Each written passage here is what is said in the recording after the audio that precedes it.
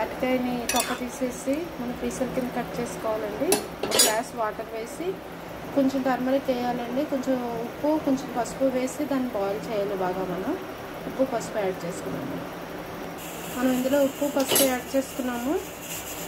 ఇంకా కొంచెం పసుపు కొంచెం ఉప్పు యాడ్ చేసుకున్నామండి. ఇప్పుడు దీన్ని రెండు మూడు పొంగులు వచ్చే వరకు లేదంటే కుక్కర్లో పెట్టి ఒక విజిల్ వచ్చే వరకు ఇచ్చేసుకోవాలి అట్టే మొత్తం బాయిల్ అయిపోయింది. ఇప్పుడు మనం వాటర్ అంతా రిమూవ్ చేసుకోవాలి. చేసుకుని ఇప్పుడు మనం ఒక తవ్వ పెట్టుకుని అందులో ఆయిల్ యాడ్ చేసుకోవాలండి. ఆయిల్ యాడ్ చేసుకుని మనకు కావాల్సినవి ఏంటంటే మినపప్పు ఆవాలు. మినపప్పు ఆవాలు అందులో వేసుకొని ఫ్రై చేసుకోవాలి. వేగేలోపల మనం పచ్చిమిరపకాయలు ఎండుమిరపకాయలు కరివేపాకు రెడీ చేసుకోవాలండి.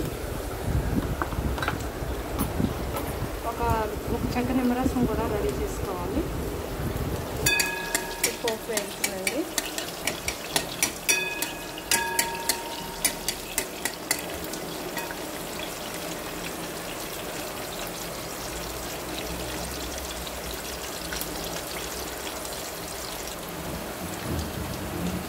ఆల్మోస్ట్ అవుతుందండి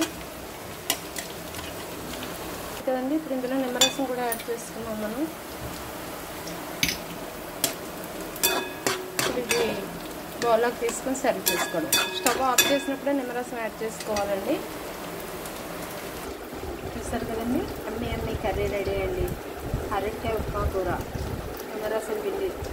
చాలా టేస్టీగా ఉంటుంది. తప్పకుండా ట్రై చేయండి లైక్ చేయండి. Thank you for watching